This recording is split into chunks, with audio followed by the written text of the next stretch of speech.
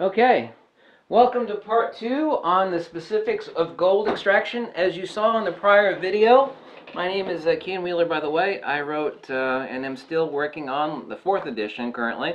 The third edition uh, is out on Uncovering the Missing Secrets of Magnetism. The book is completely free. I've made a lot of uh, revolutionary discoveries about the nature of magnetism and field geometry as pertains to magnetism. Um, I've been contacted by uh, four um, people that extract gold through sluicing up in the Klondike in Canada and Alaska and uh, also in Europe. And I'm going to show you uh, a specific uh, field geometry that you'll need to use to cause uh, diamagnetic braking of the diamagnetic gold. Okay? I'm going to show you here that at the end. And as you saw in the prior video, there are two properties to magnetism that nobody understood, and this is one of many discoveries that I made, as pertains to magnetism. Now, the only way I could demonstrate this to you on an easy scale using a large, huge, dangerous magnet like this, where we actually have a large spatial geometry on either pole of the magnet. And as I showed you, one of the uh, some of the same properties actually the exact same properties that apply to gold applies to both copper and to aluminum foil is that they have low magnetic permeability. They are dielectric reflectors. Just as with these heavy copper plates okay what we have here is low magnetic permeability i.e. it hates magnetism. Okay we understand that. How is this applicable to gold extraction? Well I want to show you something that uh, can flex so I can show it to you very easily. As I actually bring this aluminum foil over the magnet, you'll see I actually have a speed bump here, and I have a trough here where it actually does get sucked in at the center. Okay. You slow this down, whoops. You slow this down, you'll actually see that occurring. Bismuth wants to roll off the table over here. This is the universe's most diamagnetic. Gold is diamagnetic. Okay, it means it has low magnetic permeability. As the gold, especially the fine powdered gold, is passing through your sluice box and over the riffles, you know, the uh, lightweight gold gets washed out. Any gold sluicer knows that most of the gold is the lightweight stuff that ultimately adds up. It's not the big stuff that you catch. It's like, oh, great, you know. That stuff has a heavy mass. It'll want to fall into your riffles. But extracting out the fine stuff is the real hardcore, and, and every gold extractor knows, is the fine hardcore stuff that's an issue. Because you've got a certain level of force and motion in the water flow of your sluice box. This is important that you need to balance that out. It's not about working harder. I see a lot of gold extractors working harder, but it's about working smarter, obviously. You can work your ass off if you're doing something wrong. You're losing all your gold. You know, all the hard work in the world isn't going to extract the gold. It's about working smarter. So what we're going to do is we're going to apply the diamagnetic properties of gold by using a magnetic field flux divergence and taking advantage of the diamagnetic nature of gold, i.e. its extremely low magnetic permeability. Now, we grew up with the notion of superconductors. Now, I grew up as a mad scientist, basically, with liquid nitrogen tanks and yttrium barium copper oxide superconductors. You put a little magnet over it, you chill it down to liquid nitrogen temperatures, and the magnet would actually levitate. And I actually make bismuth levitators as neat art forms. They're kind of neat. I mean, I cast bismuth. This is bismuth. This is heavier than lead. This is the universe's most diamagnetic, hates magnetism element. Now this operates exactly the same way, not that I can show you because it's so heavy, as the aluminum foil does. It is repulsed by the centrifugal edge, but is attracted at the centripetal convergence. So what we're able to do, I'm referring to superconductors, it is not superconductivity. What happens is when that yttrium barium copper oxide disk is cooled down to the temperature of liquid nitrogen, it becomes extremely, extremely low magnetic permeability. It basically, instead of having flex for a magnet, you can set it on top of it. Once you apply the liquid nitrogen, then the yttrium barium copper oxide ceramic disc becomes super, super uh, low magnetic permeability. Means it becomes a bulletproof shield for passing magnetism through it, and that's why a little tiny magnet will levitate on that copper disc. So it's technically not superconductivity, it's insanely high low magnetic permeability. That kind of sounds counterintuitive. Extremely high, low magnetic permeability. So anyway, how can we apply this? I'll show you a diagram here in a second. I've got my chalkboard over here. How you can actually apply this to your sluice box. It is also applicable to gold panning, but I'm not going to show you that design at this time. This is the one video. At the end, you don't have to donate anything. But I'm about to make a lot of people rich. I've been working on this design now for about a month, and it's uh, going to work. I promise you, and it's not going to cost you much at all. I'm asking you know, I'm not selling anything here, but if you try this out, and you will, and you will make money, I'm serious as a heart attack, no BS, okay? I am the expert on magnetism, flat out. My book is incredibly popular. I've discovered a lot of unique properties. As I showed you with this magnet, we don't have magnetism on either side. We have centrifugal divergence and centripetal convergence. I actually showed you with the, uh, the, the brass flywheel.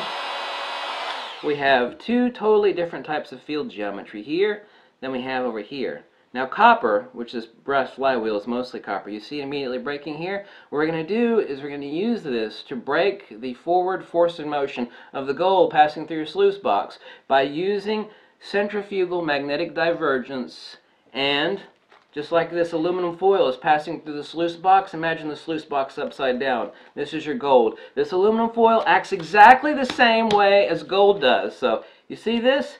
We've got braking here, and what this is going to be incredibly important in is braking the diamagnetic low mass powdered fine gold into your wiffles.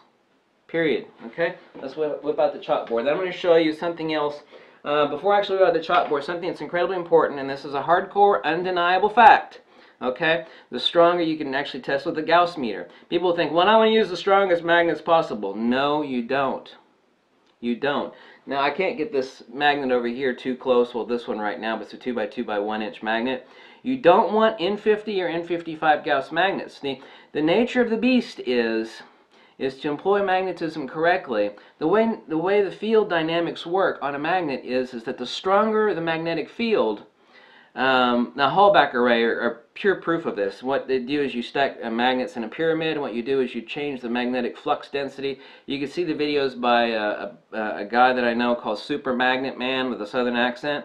You can see his video on pyramid magnets. He makes these for medical research. They have an extremely, extremely, extremely high magnetic field divergence. But what happens is it's so damn shallow that outside of like a millimeter or two above it, there's no, there's almost no magnetism measurable. But right at the surface, there's incredibly high magnetism. So the nature of the beast is, is that if you buy the super powerful magnets, you think, well, the more powerful the magnet is, the more the field is. It's actually the other way around. The more powerful the magnet is, the smaller the field is. Well, how the hell does that work? It's like turning up you're going to have to think about this because field geometry is different than normal geometry. It is hyper-Euclidean or it is meta-Euclidean is it's like the same way as thinking if you turn up the power on your shower, you have more pressure coming out, then what happens is you got a better vacuum sucking the water down. And that's exactly how the field geometry of a magnet works. When you increase the pressure outflow, you actually increase reciprocally the inflow from the drain. Of course, a regular shower doesn't work that way, but that is how magnetic field divergence works. So a really, really powerful magnet is not what you want. You want an N40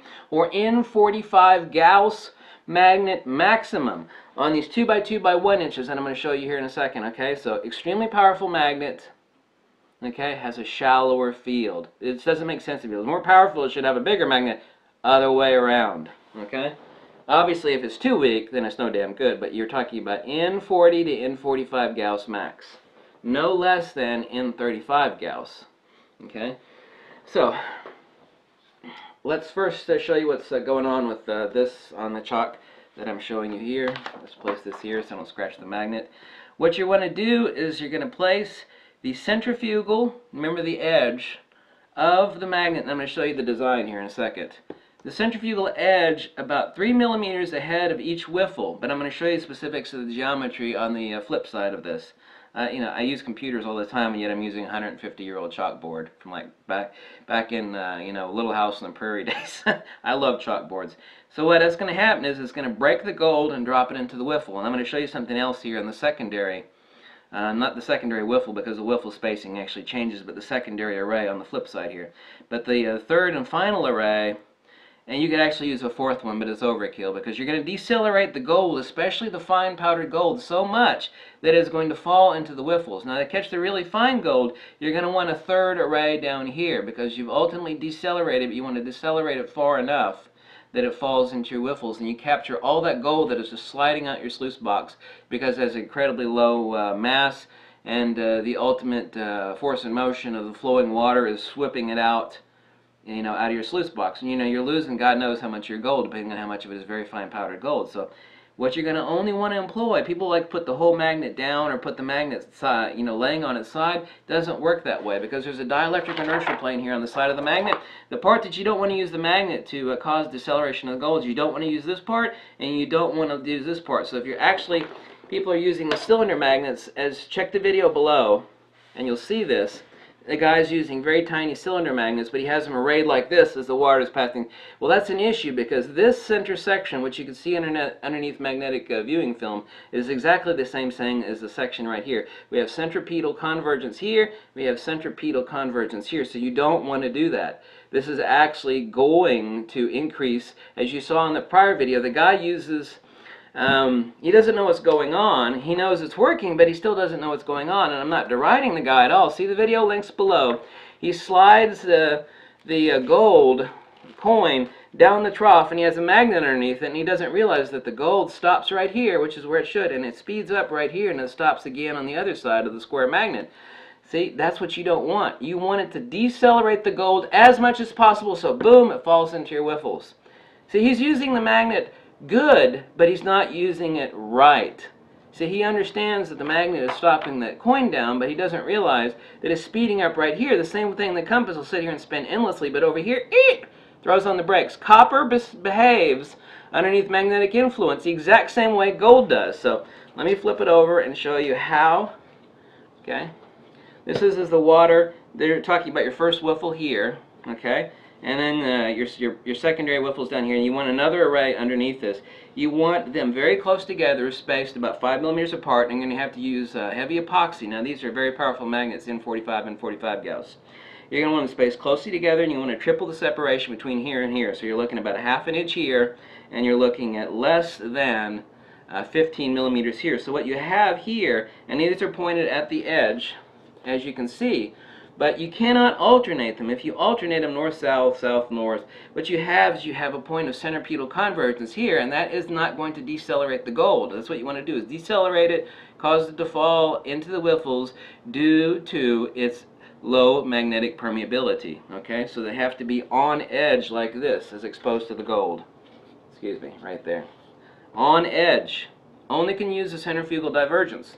So, these are on edge to the wiffles as the gold is passing here. North-north, south-south. Then you're going to have a gap right here. It's nowhere near as big as I represented uh, give a representation here. Here we're talking 10 millimeters. Here we're talking 30 millimeters. So obviously I'm exaggerating here so you can see what's going on. And you want a vertical array of north and south. And what you're going to also cause is you're going to cause centrifugal divergence here, but you're also going to cause eddy deceleration due to this central array. Now what you're going to want is a secondary array exactly like this one after this one to capture the really, really fine gold. And once again, down here, we're going to have alternate the south-south up here with north-north, south-south, and north-north up here. What you're going to cause is deceleration here, eddy current deceleration here. So you're going to maximize deceleration of the diamagnetic gold, which reacts adversely to the uh, strong centrifugal divergence of the magnetism. Okay, so you're going to cause deceleration but also eddy current deceleration. So you're getting a double whammy. You're getting both shotgun blasts to the goal to decelerate it to have it to drop into your wiffles. Okay, now I'm going to show you the magnet. Now the only way I can show you the magnets to use is I have to move this giant monster because they'll, they'll actually jump together so dangerously that, oh my god. Oh, what a dangerous beast. Oh, can't get that that close to this magnet. It's the only reason also that I can't use uh, the clip-on microphone. It is a magnet like this. You want N40, N45 Gauss, okay? But they have them with a hole in the center because you can use bolts for securing. I've got them over there, but they're joined together.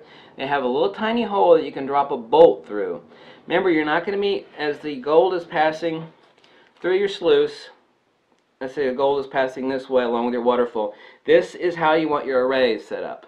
This and this and the secondary array, and then the tertiary array, and then a secondary array again for dropping out the very, very fine particulate gold. Okay? So it has to be like this. The same thing with that huge magnet is the same thing here. Okay, you can actually see it here to a small degree, even though this is a much smaller magnet. You'll see a bump right here. This aluminum foil behaves under field divergence the exact same way gold does. You see this? If you look really close, you slow it down if necessary, you'll see a bump here You'll see a trough here, the same way in the video that I'll link to you below of the gold sluicer. He'll show you the gold coin dropping down. Uh, it's in an aluminum trough, okay, against the magnet. Slows down at the edge, speeds up, slows down again. He doesn't know what's going on, but I'm not putting him down for that. He's doing the right thing, but he's not doing the best thing. Because he doesn't understand, nor does anybody else. They think, well, this is the side of a magnet. You know, it's all magnetism. No, it isn't. Two different zones on either side of a magnet. Centrifugal divergence. On the outside of every magnet is a zone of toroidal divergence, shaped like a donut. And what we have here on either side is a vortex, just like a drain. It is a hyperboloid geometrically, is a field hyperboloid. Okay, you can see it here, like I said, this aluminum foil behaves the same way the gold does. It decelerates at the centrifugal convergence, centrifugal divergence, and it uh, accelerates at the point of center. That's why when we have our magnets arrayed in our sluice box, you're going to need a supporting bar, okay? Either PVC, here, I'm going to show you the easiest way. Right here. Since you're going to use the magnets that have a hole in them, there's a hole right here, is you're going to attach them. You want the fast and dirty easy way. Attach them like this. Remember, north-north, gap, south-south, then inversely over here as I showed you on the chalkboard. Okay, This is not going to take you that long to build. Now, these little suckers are 40 bucks a piece. Right now, neodymium, China controls, controls all neodymium, so the price fluctuates. Now, this is this video and the prior video are the only two videos I would ask a donation for. And uh, once you greatly recover gold, I'll make a follow-up video. If you want to send me like uh, a $5 vial in water, you're talking 5 bucks here, proving, and this will work, I'm serious as a heart attack, this is no BS, this is no flim-flam, you want to send me like a $5 vial of gold saying, look it, I'm making a lot more gold, here's a little $5 vial of gold as proof, I'll make some follow-up videos and I will get those vials, okay? Because this will work. I am not confident this is where it will work. I am 100% absolutely certain, serious as a heart attack, you can come to my doorstep and beat the hell out of me if I'm lying to you. This works.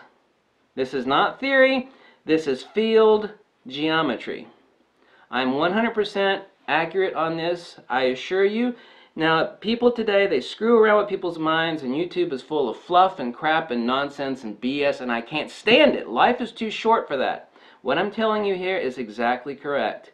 The same way the brass, uh, the copper, mostly copper, of this brass flywheel behaves on that magnet, magnet on the centrifugal divergent edge is the same reason why your gold will decelerate out of the water flow and drop into your wiffles. You'll have to array it just like this.